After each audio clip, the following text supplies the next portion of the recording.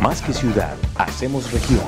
Cámara Directa, Cámara de Comercio de Bucaramanga, creemos en Santander.